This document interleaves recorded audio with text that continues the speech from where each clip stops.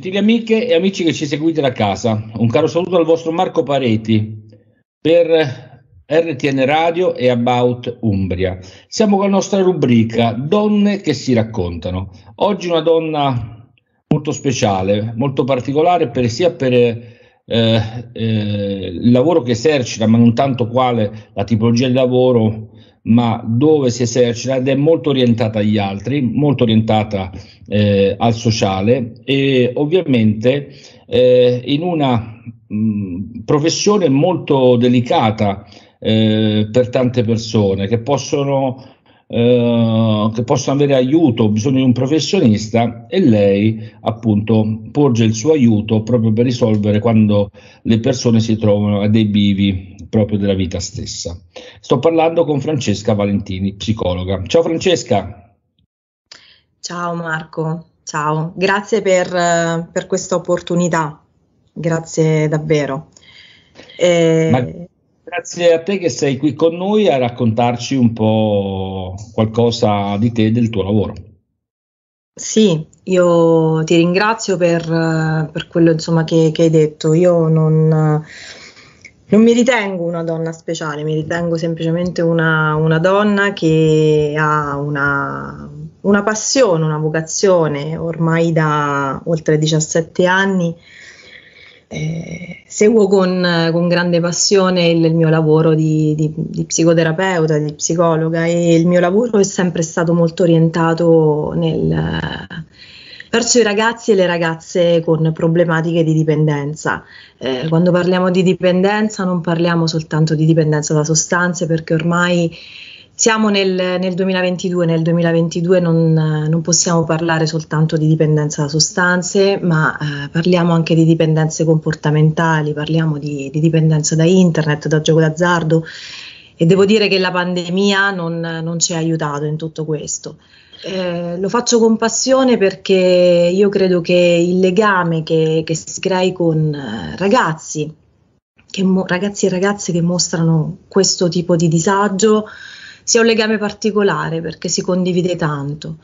Eh, si condividono vissuti, storie di vita, soprattutto con, con le donne, soprattutto con, con, le ragazze che hanno problematiche di dipendenza. Si crea un rapporto particolare, speciale, perché, perché si tratta anche di donne che in molti casi hanno avuto anche dei vissuti di violenza, traumatici, e che quindi in un certo senso il, il trauma è stata eh, purtroppo la via che le ha condotte magari in tanti casi alla dipendenza. Quindi, insomma, Bene, Francesca, eh, sì. eh, in modo che così facciamo un, un passo per volta. Molto già, eh, cari amiche e amici di About Umbria e di RTN Radio, avete ben compreso la passione che mette Francesca nel suo lavoro e, e per quello che può donare agli altri aiutandoli. Eh, ovviamente in tutto quello nel cappello che ha fatto, eh, ovviamente eh, Francesca si rivolge e Francesca ti rivolgi facendo comprendere bene il tuo lavoro di psicologa e psicoterapeuta, ma sei anche una collaboratrice della comunità Incontro che si trova nel comune di Amelia, fondata da Don, eh, Don Piero eh, Gelmini eh, a suo tempo, che è diventata veramente un'eccellenza nel recupero eh, delle persone eh, appunto dalle dipendenze.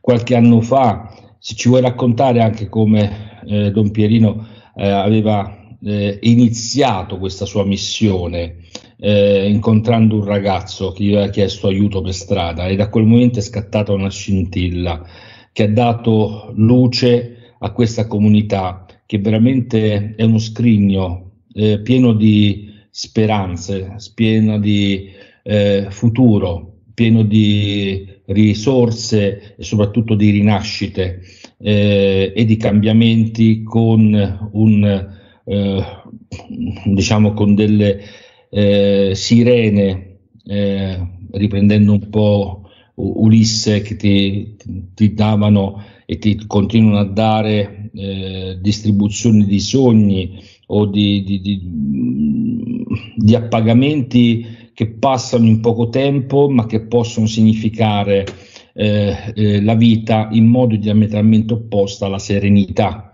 a quello che può essere invece dei turbamenti che poi vai, vai, a cercare delle cose da qualche altra parte.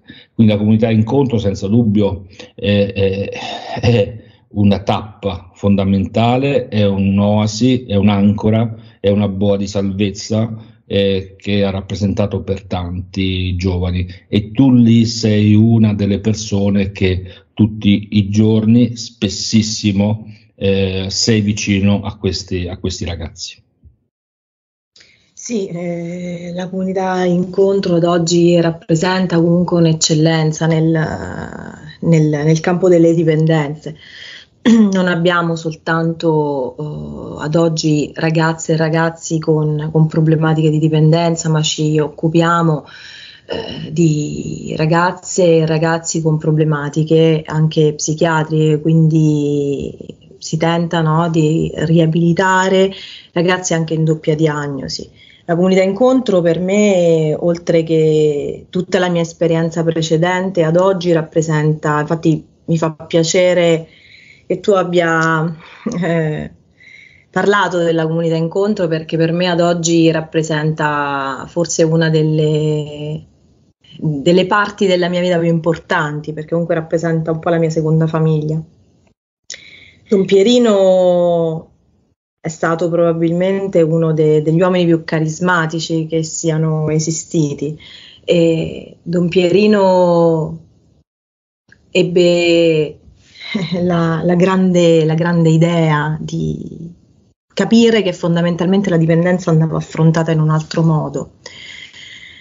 La comunità incontro nasce quando Don Pierino eh, ebbe un incontro con eh, Alfredo.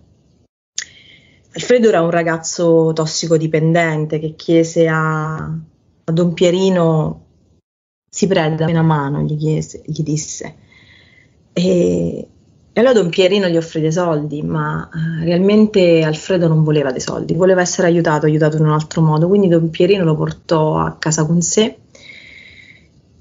E realmente questo non voglio dilungarmi troppo, però mh, mm, questo rappresenta l'inizio, solo ed esclusivamente l'inizio di quella che poi è stata la missione di Don Pierino, perché da lì Don Pierino eh, man mano eh, arrivò ad Amelia, e da lì gettò le basi per quella che ad oggi conosciamo appunto come comunità incontro. Fu una grande fatica per lui, fu una grande fatica per i, ragazzi, per i ragazzi che comunque lo, lo, seguivano in quel momento. Eh, lì ad Amelia non c'era nulla. Venne rinominata e ridenominata la Valle della Speranza, perché la speranza per tutti coloro che si erano persi, si erano persi nella, nella droga, come si chiamava all'epoca. Don Pierino ci ha lasciato e ci ha tramandato tantissime, tantissime, tantissimi dettami, tantissime regole.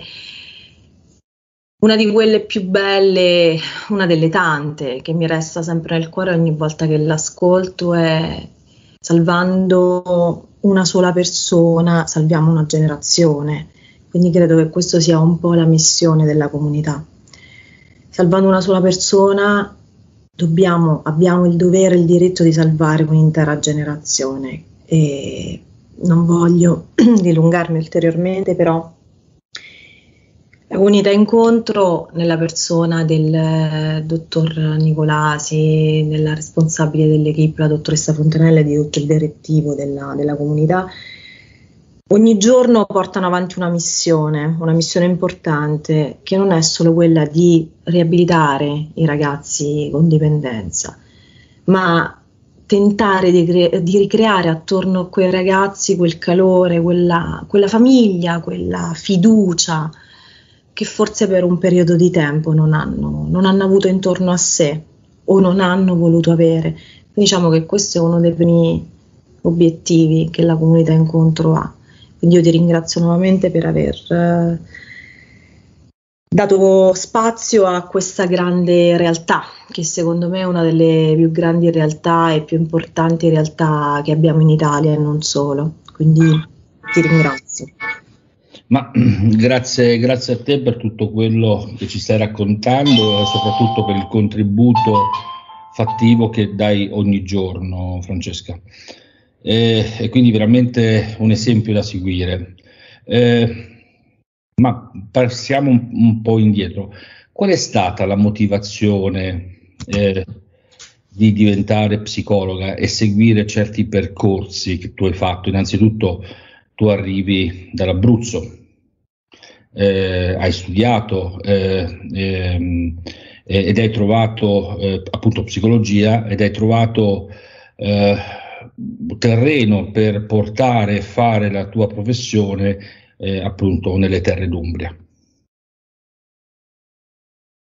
Sì, eh, io sono circa 4-5 anni che sono, faccio parte di, di, questa grande famiglia come collaboratrice della comunità Incontro. Prima di questo e oltre questo eh, porto avanti insomma, la mia attività di, di terapeuta, di, di, psicoterapeuta e di psicologa, ma realmente questa è una domanda che un pochino mi hanno fatto nel corso degli anni, soprattutto quando ero più giovane come mai proprio la psicologa e come mai perché nelle dipendenze? Ad oggi so questa risposta. Eh, fino a qualche anno fa probabilmente è stato un farmi un po' trasportare da, da un provare, da un tentare, che in fondo quando si ha vent'anni non si è poi così tanto sicuri eh, della strada che, che, si vuole prendere. E, io ero molto molto predisposta nel, nel, voler avere comunicazione con gli altri, nell'aiutare gli altri. Quindi un pochino questa mia predisposizione mi ha portato a scegliere come facoltà psicologia.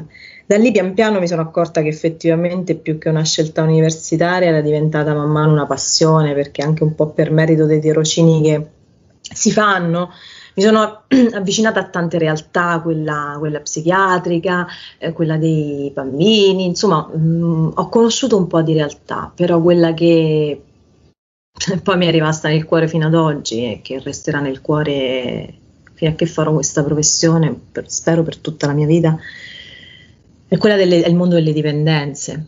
Eh, perché perché c'è, c'è, sofferenza, perché a differenza di quello che si pensava fino a qualche anno fa rispetto alle persone con dipendenza, eh, ad oggi ci siamo battuti tantissimo per far sì, come per le persone con problematiche psichiatriche, far sì che venissero un po' aboliti gli stigmi sociali, gli etichettamenti, ad oggi un pochino ci stiamo lavorando su questo. A me piacerebbe tantissimo che le persone non venissero più giudicate per, per, il loro passato, per il loro stato, per il proprio disagio, per un disagio emotivo, per un disagio psichiatrico, ma venissero eh, apprezzate e per quello che ad oggi dimostrano. Spesso ho sentito nella mia vita dire vabbè ma tanto quello è un drogato, non, non si riprenderà mai.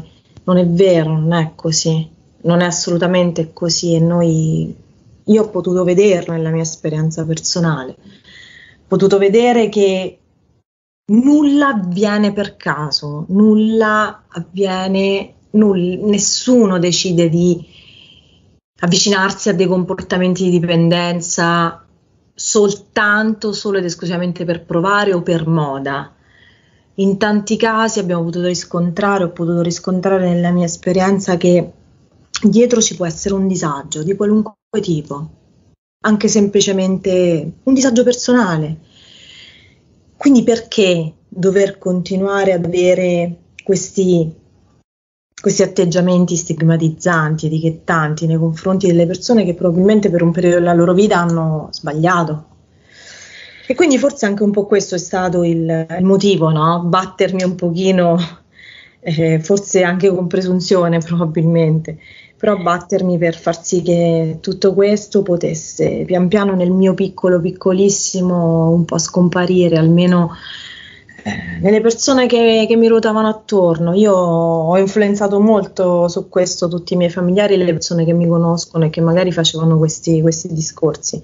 e quindi ho cercato un di, un po di fare la, la, paladina, tra virgolette, rispetto al far capire agli altri che siamo tutti esseri umani e ognuno di noi sbaglia a modo proprio, però ognuno di noi ha la capacità, la forza e il coraggio di rialzarsi.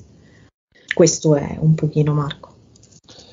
Eh, sono parole, questo molto, molto, molto profonde, molto profonde, toccanti, anche perché la motivazione è senza dubbio elevata, ma in certe situazioni ci vuole anche la determinazione no? per andare avanti, soprattutto quando si vedono che le persone, eh, diciamo qualche anno fa, o come è nata la comunità, o come sono nate queste, su queste problematiche, erano soprattutto dei giovani. Ancora oggi ci sono dei giovani, ma ci sono anche eh, persone adulte, persone eh, di età che arrivano veramente a degli anni importanti, dovrebbero avere un'esperienza, le loro mani dovrebbero carezzare i propri nipoti, dovrebbero carezzare i propri figli, dovrebbero carezzare e dare saggezza.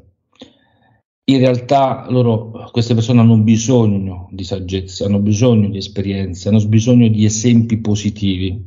Cosa succede in questa società moderna dove le slot machine, il gioco in genere, l'alcol, eh, che sempre sono esistite, ma oggi hanno una percentuale ancora più elevata rispetto al passato. Sì, eh, ad oggi, come dicevamo anche prima, effettivamente c'è stato un aumento esponenziale di tutto questo rispetto al passato. Diciamo che ad oggi c'è anche forse un più facile accesso eh, a tutto questo e devo dire che la pandemia non ha aiutato assolutamente, soprattutto nella dipendenza per quanto riguarda il gioco d'azzardo, il gioco d'azzardo patologico. Effettivamente mh, io credo che l'aspetto emotivo eh, ad oggi sia uno degli elementi più importanti, l'aspetto familiare, eh, la comunicazione, la condivisione. Queste sono tutte parole a me particolarmente care perché credo che eh, ognuno di noi viva dei momenti di disagio, dei momenti un po' più up dei momenti in cui si sente un po' più, un po più giù. Io credo che se abbiamo la capacità di condividere, eh, di comunicare con le persone che, che, ci sono attorno, comunque di avere la forza di chiedere aiuto, io credo che eh, anche il nostro disagio vada a diminuire. Io credo che si tratti di coraggio un pochino, nel senso lo scegliere eh, la sostanza, lo scegliere comportamenti di dipendenza, lo scegliere comportamenti che sappiamo benissimo che non, non ci fanno bene, non ci fanno stare bene. Io credo che ad oggi sia la scelta più facile, sia quell'atteggiamento, quel comportamento di fuga che ci fa dimenticare per qualche minuto, ci fa allontanare per un periodo di tempo dai nostri reali problemi, dalla quotidianità, da quello che non tolleriamo. Mm, ad oggi c'è una, molta, c'è una scarsa tolleranza alle frustrazioni e allo stress. Le giovani generazioni, io mi rendo conto che sono dei, dei giovani molto fragili da questo punto di vista hanno una fragilità rispetto proprio alla tolleranza di, delle frustrazioni, dello stress, il timore di ricevere un no.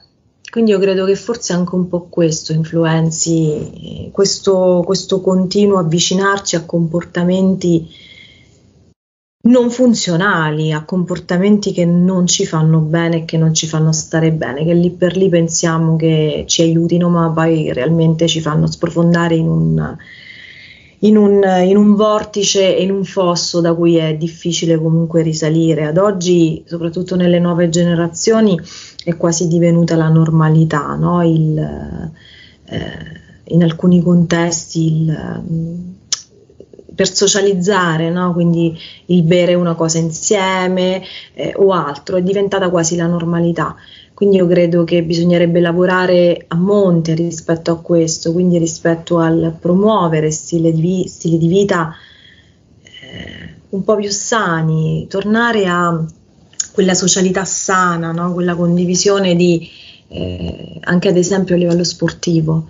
Eh, il ricondividere, il vivere, il vivere la strada, il vivere gli altri, il vivere la socialità in maniera diversa, non per forza dobbiamo uscire perché chissà che dobbiamo fare, ma semplicemente per il piacere di stare insieme. E quindi diciamo che sono stata molto generalista rispetto a tutto questo, però io credo che sintetizzare mh, quello che tu hai tirato fuori come argomento in poche parole sia molto difficile.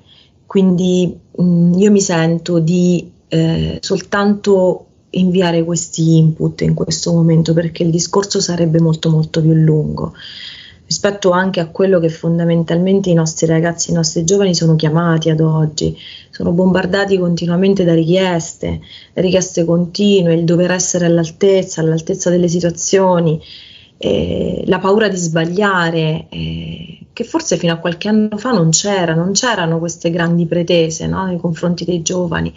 Ad oggi magari si pretende che i giovani siano eccelle, possano eccellere in, in tutto quello che fanno. E quindi io credo che anche sottoporre i ragazzi a questo stress non sia eh, così poi costruttivo, perché ognuno di noi credo che debba scegliere la, la propria vocazione, quindi forse anche questo eh, non, non, aiuta. Quindi diciamo ecco un pochino questo è brevemente quello che, che, credo, quello che penso, però ripeto è un discorso molto molto lungo che ci porterebbe credo tanto tempo. Grazie. Valentina, è sempre eh, parlare con te è sempre foriero di, eh, di riflessione. In maniera concreta, istruzioni per l'uso, se vogliamo chiamarle così, di una famiglia che avesse all'interno un componente eh, diciamo dedito a diciamo, una dipendenza eh, tra queste che ci hai detto. Ci sono dei segnali eh, particolari che si possono ravvisare, eh, ci sono dei momenti che possono in qualche modo suonare un campanello d'allarme eh, per poter... Eh, di solito uno interviene quando ormai le cose sono troppo tardi o già le cose sono successe. Eh, secondo te ci potresti dare qualche consiglio eh, proprio per prevenire certe dipendenze? Eh, io più che dare consigli, mh, mm, non mi sento di dare consigli, mi sento più di eh, dire a, ai genitori, alle persone che hanno a che fare con, uh, con, i giovani, con gli adolescenti, mi sento di dire una cosa che per me è molto importante e che noto da anni, eh, parliamo, comunichiamo, condividiamo la comunicazione è una delle cose più difficili. Quando vediamo un figlio che rientra a casa e ci evita, quando vediamo un figlio che torna a casa e va direttamente in camera, quando vediamo che mh, mm, cerca momenti di isolamento, ha comportamenti particolari. Eh, magari vediamo un ragazzo che fino a qualche tempo prima andava molto bene, ad esempio a scuola, e man mano inizia ad avere un, un rendimento scolastico più basso. Io faccio dei, degli esempi molto, molto generali. Osserviamoli i nostri figli, osserviamo i ragazzi che, che abbiamo intorno, osserviamoli. Cerchiamo di capire, di comprendere, però ricordiamoci una cosa, non li giudichiamo, non stiamo lì ad opprimerli e a doverci far dire per forza che cosa hanno fatto. Si è genitori, sì, non si è amici, quindi probabilmente i ragazzi non verranno mai a... Poi ovviamente dipende dai rapporti che si hanno con i, con i propri genitori, però certo parlare con un genitore non è mai così facile.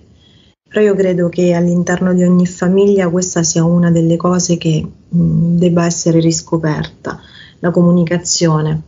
Spesso in famiglia siamo troppo distratti tutti quanti, anch'io per prima. Magari quando siamo a tavola abbiamo il cellulare, pensiamo ai social eh, e quindi magari evitiamo, ci rendiamo conto che arriviamo a fine cena e non abbiamo neanche scambiato una parola, ad esempio perché siamo stati tutto il tempo concentrati sul telefono, sui social, eh, su messaggi, chat e quant'altro. Quindi io credo che forse uno dei primi step, una delle prime cose che si potrebbero fare, si potrebbe fare è proprio il tornare un pochino a una sana comunicazione, una comunicazione un po' più emotiva. Ad oggi ragazzi mi sono resa conto che hanno un po' paura delle emozioni, hanno un po' paura di, di esprimere quello che, che realmente pensano.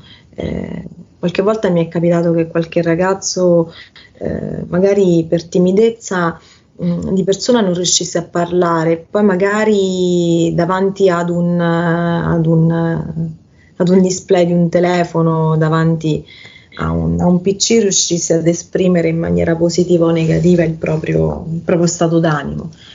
Quindi bisognerebbe tornare un pochino al, a un tipo di comunicazione diversa. Non preoccuparci di quello che gli altri possono o non possono dirci. Eh, ci preoccupiamo tanto del giudizio. Io credo che questa sia una delle altre eh, piaghe, tra virgolette. Abbiamo tanta paura del giudizio perché, perché effettivamente siamo in un momento storico abbastanza giudicante. Eh, una cosa che è sempre più in aumento è il bullismo, il cyberbullismo, eh, non a caso. Eh, ci sentiamo tutti in dovere o in diritto di giudicare l'altro perché, perché non è uguale a noi, perché è diverso da noi, ma in fondo chi è che stabilisce la diversità? Eh, siamo sempre noi. Eh, quindi ti ripeto, io non, non, mi sento di dare consigli, mi sento semplicemente di dire di tentare di riviverci un pochino come persone, perché secondo me in questo momento ci stiamo vivendo tutti poco come persone.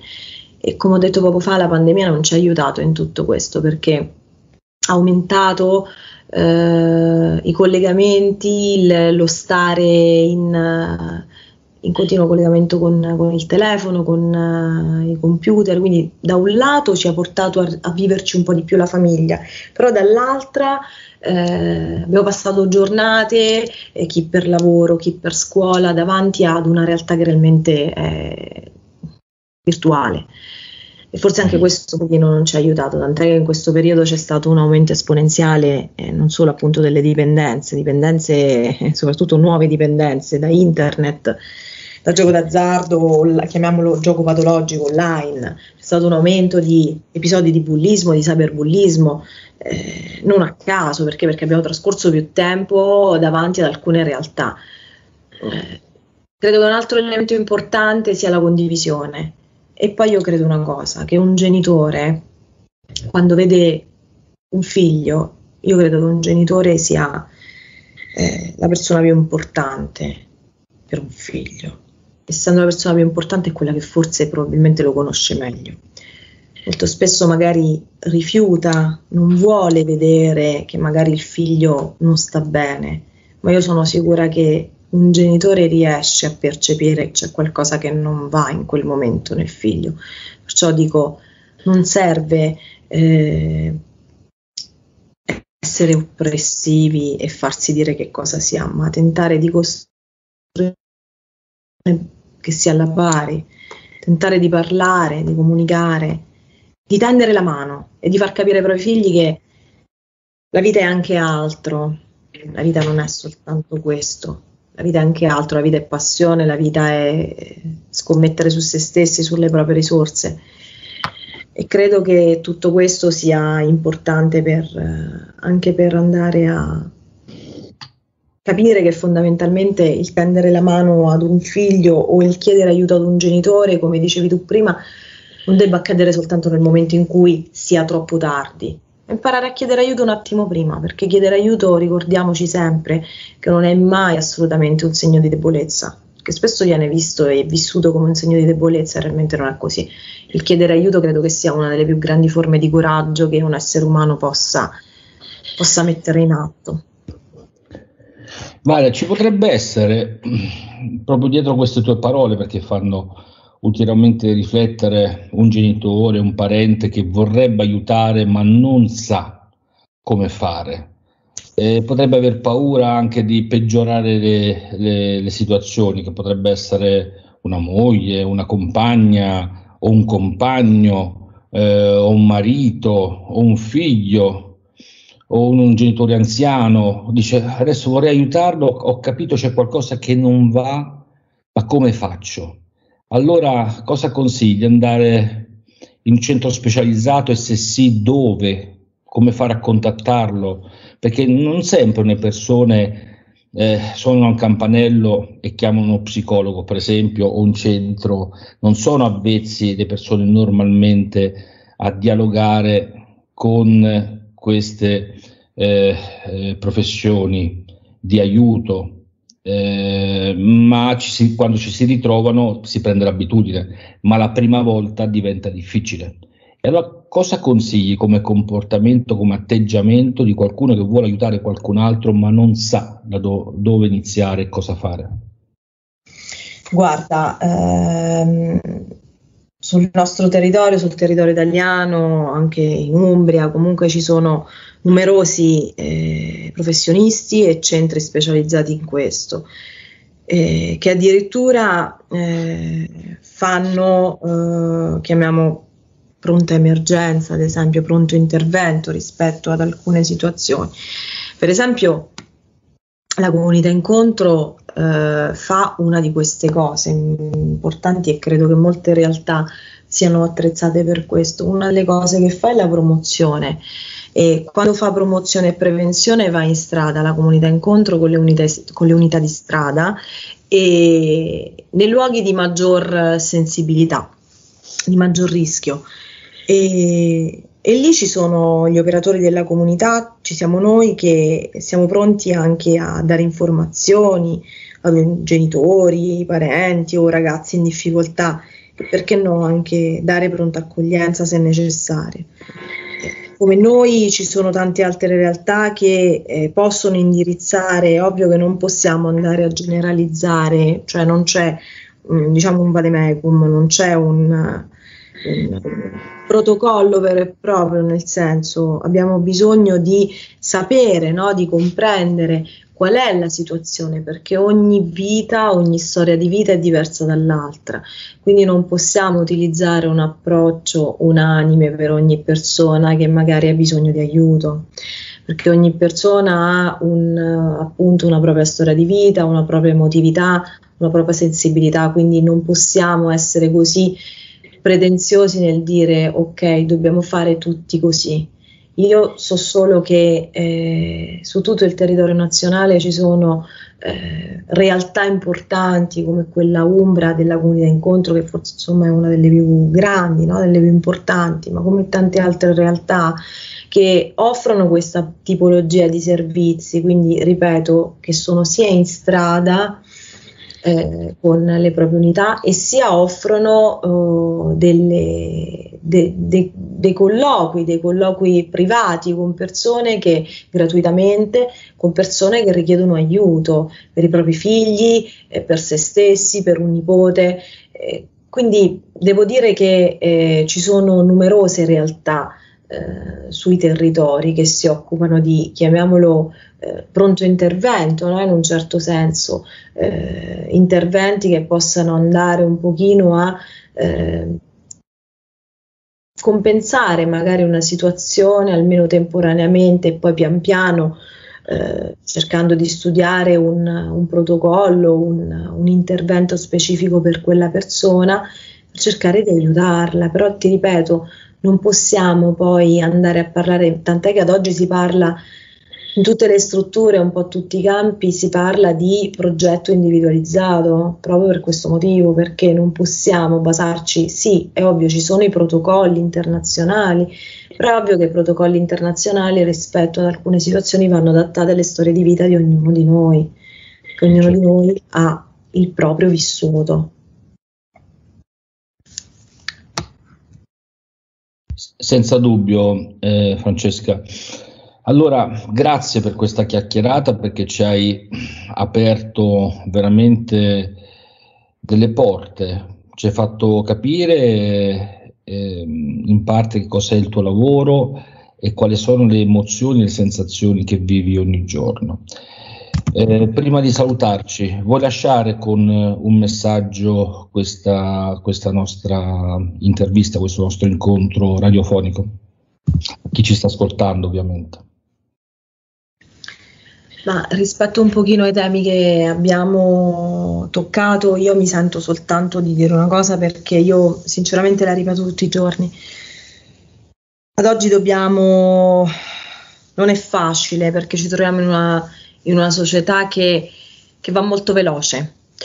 Non, non riusciamo così tanto spesso a fermarci e a stare, come si, si dice spesso, nel, nel, momento presente, nel qui e ora. Dovremmo, secondo me, iniziare un pochino a, a ridare un senso, un significato anche alle piccole cose, perché credo che, che tante situazioni nella nostra vita, come la pandemia, che purtroppo insomma ancora è in essere fondamentalmente, ci ha insegnato che da un momento all'altro eh, possiamo essere privati di qualcosa. Quindi io credo che sia importante per ognuno di noi ridare un senso, un significato a ciò che realmente desidera, a ciò che realmente vuole e soprattutto ridare un senso alle piccole cose, alle emozioni, ai contatti, ai contatti familiari, alle relazioni. Eh, tentare mm. di ridare a tutto questo quella genuinità che probabilmente potrebbe ridarci quella spinta per poter tornare ad una, ad una vita un po' meno frenetica, ad una vita un po' meno fatta di pretese, richieste, stress, frustrazione. Cerchiamo di, di, stringerci un po' di più tra di noi, cerchiamo di essere un po' più, di volerci bene, di voler bene alle persone che, che ci sono intorno, perché credo che le deprivazioni a cui siamo stati sottoposti negli ultimi tempi debbano, ti ripeto, averci insegnato qualcosa. E credo che questo sia una delle, delle cose che mi sento di dire. Cercare di tornare a, a, dare un senso, un significato a quello che. anche le piccole cose che ci ruotano attorno, anche un semplice abbraccio alla nostra mamma o al nostro papà, a un fratello, a un parente o chi, o chi ci sta vicino, chi ci è stato vicino. Mi sento di dire soltanto questo. Beh, eh, dire soltanto questo non è soltanto, è tanta roba quello che hai detto, perché un abbraccio, eh, magari chi non ha più un papà o una mamma, eh, ovviamente lo può fare solamente dal punto di vista virtuale, affettivo, ma chi ha ancora dei parenti o comunque dei cari intorno a sé lo faccia, anche, anche semplicemente con un amico o con un'amica a volte è sufficiente. Quindi grazie di questo invito, eh, appunto Francesca, che eh, accogliamo con, eh, veramente con, tanta, con tanto sentimento, con tanta emozione e per chi ci sta ascoltando o che avesse un problema di dipendenza di qualsiasi natura, qualsiasi genere, si faccia aiutare, vada in un centro specializzato, ne, parla, ne parli con, con, qualcuno dei propri cari che si, si, si, può fidare, in modo da trovare un aiuto. E poi giustamente questa persona che chiede aiuto non va giudicata, ma va sostenuta e va accompagnata in un cammino di, eh, eh, di crescita, di ripresa, di speranza. Quindi veramente è un messaggio potente, forte, quello che ci hai dato Francesca, che accogliamo e veramente dal punto di vista eh, eh, affettivo ti abbracciamo intensamente per tutto quello che fai tutti i giorni. Grazie. Grazie a te, grazie. Bene, gentili amiche e amici che ci seguite da casa, un caro saluto dal vostro Marco Pareti per About Umbria per About Umbria ed RTN Radio. Con noi abbiamo avuto la dottoressa Francesca Valentini, psicologa psicoterapeuta, che ci ha raccontato uno spaccato della sua vita e della sua professione e che ci ha fatto eh, avere tante emozioni e tante sensazioni. E credo anche qualcuno che ci ha ascoltato, anche qualche lacrima, ma soprattutto spero che faccia riflettere qualcuno, perché l'aiuto non si trova dietro un angolo, si può trovare anche dietro un angolo come ha fatto eh, quel ragazzo con eh, Don Pierino e, e, viceversa, ma a volte bisogna farsi aiutare da qualcuno che c'è vicino. Un caro